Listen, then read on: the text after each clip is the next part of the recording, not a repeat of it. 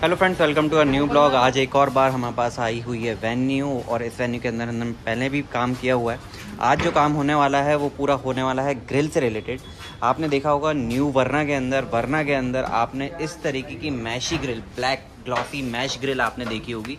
ये ग्रिल आज हम वेन्यू के अंदर लगाने वाले हैं और ये बहुत खूबसूरत लगने वाली है गाड़ी। पहले भी बहुत अच्छी थी गाड़ी, लेकिन अब जो है इसके अंदर एक और जो है एलिमेंट को ऐड करेंगे ताकि इसकी खूबसूरती को और बढ़ा सकें।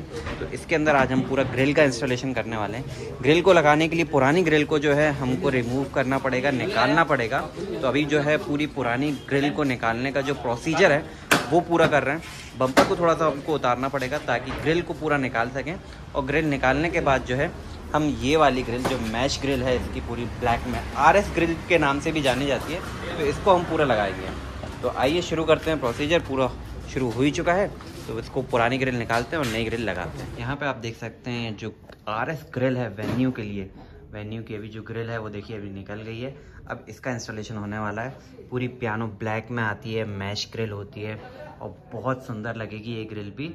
तो आइए अब इसको इंस्टॉल करते हैं। पूरे इसके जो ओरिजिनल फ्रेम के नक्के वगैरह होते हैं, कुछ इस तरीके से होते हैं, जो पूरे स्क्रू से जो है कसा जाएगी और पूरे लॉक्स पे जो है ये लग जाएगी। जैसे कि आप यहाँ पे देख रहे हैं ये जो पुराना पार्ट है ये ग्रिल के अंदर से ही निकाला हुआ है पूरा पार्ट और इसको जो है अभी इस ग्रिल के अंदर हम पूरा फिट कर देंगे। और ये फिट करने के बाद जो है ग्रिल को वहाँ पे हम जो है इसकी पोजीशनिंग पे इजीली लगा देंगे। तो यहाँ पे आप देख रहे हैं ये जो ओरिजिनल पार्ट है वो कुछ इस तरीके से पूरा फिट हो जाता है। और ये अब फिट हो गया है तो अब जो है ग्रिल को इजीली अब उसके अंदर हम फिट कर सकते हैं यहाँ पे आप देख सकते हैं आपको लॉक्स के जो आवाज़ है बिल्कुल आ रही होगी। और जो फिनिशिंग है काफ़ी अच्छी आ रही है। चार बात कर देते हैं और इसका लुक एक बार मैं आपको दिखाएँगे तो फ्रेंड्स अब पूरा जो है इसका जो इंस्टॉलेशन है पूरा कंप्लीट हो चुका है। आप देख सकते हैं किस तरीके से इसका लुक चेंज हो चुका है एकदम से। आपने इसके पहले भी इसका लुक देखा हुआ था और अब जो लुक आ रहा है इसमें वो काफ़ी उभर कर बहुत अच्छा आ रहा है। जैसे कि हमने आपको वो कई गाड़ियों में दिखा चुके हैं। आर एस ग्रिल जो है क्रेटा में भी लगाई हुई है।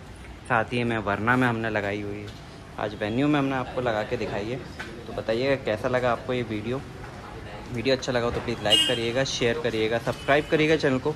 इसी तरीके से हम आपके नए नए वीडियोज़ लाते रहेंगे, बनाते रहेंगे। धन्यवाद।